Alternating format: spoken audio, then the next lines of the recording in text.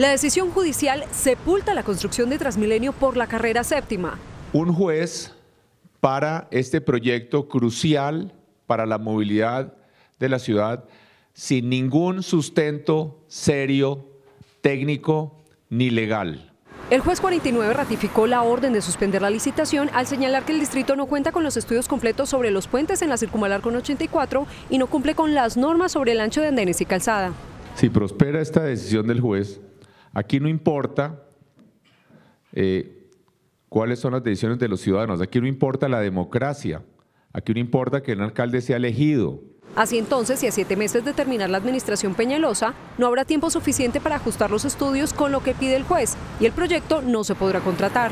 Nosotros acudiremos a todas las instancias que nos eh, permite la Constitución colombiana la decisión del juez le da la razón a las pretensiones del edificio Altos de la Cabrera, que se construyó invadiendo la reserva vial en la que se construirían los puentes.